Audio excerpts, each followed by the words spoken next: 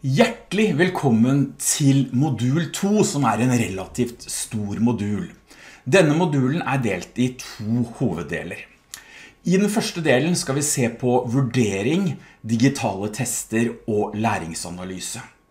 I del nummer to, da skal vi se på innholdsproduksjon, universell utforming, og vi skal se på opphavsrett.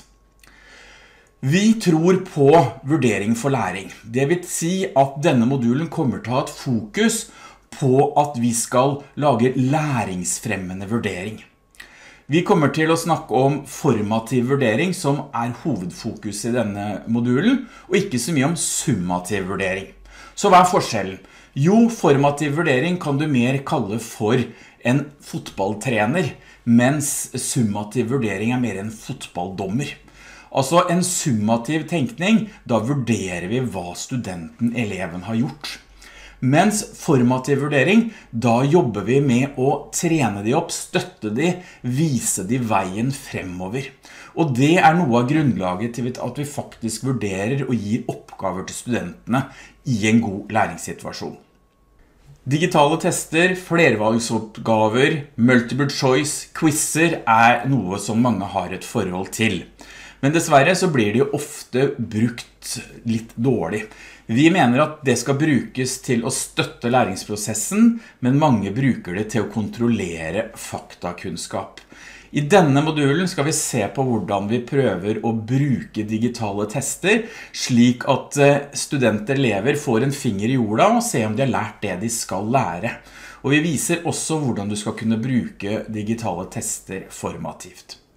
Læringsanalyse er noe som kommer veldig i skuddet nå til dags med kunstig intelligens og store datamengder. Vi skal se på hvordan du kan kontrollere både kvalitet og formidlinga i kurset ditt ved å se på hvordan faktisk studentene dine bruker dette her. Og vi skal se på hvordan du kan bruke studentevalueringer aktivt som utgangspunkt for å revidere ditt nettkurs. I del 2 av denne modulen skal vi se på innholdsproduksjon. Og innholdsproduksjon det er jo den bærende faktoren i forhold til kommunikasjonen med studenten i et asynkron nettkurs.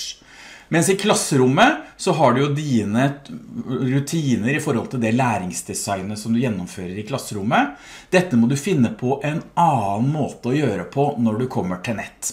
Og i denne modulen skal vi se på at innholdsproduksjon det er mer enn tekst. Det finnes andre teksttyper enn tekst som kan kommunisere et budskap.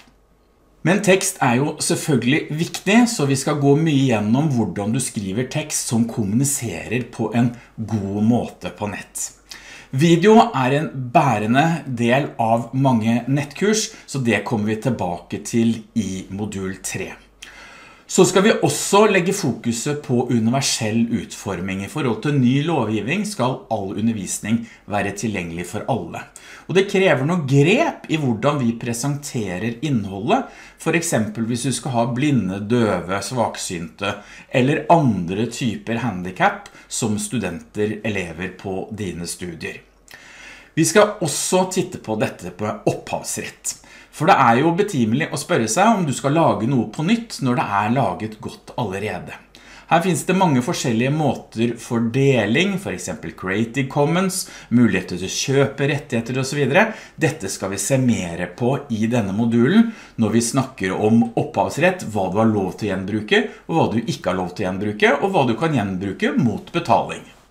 I denne modulen møter du fire oppgaver. Tre praktiske og en slutttest på slutten av modulen. Du skal lære deg å lage digitale tester, og du skal lage en digital test som en oppgave i dette kurset. Du skal lage en enkel fagtekst som du skal lage etter gitte vurderingskriterier. Og du skal prøve et nytt format som kanskje ikke så mange har vært borte i tidligere, nemlig at du skal lage en podcast.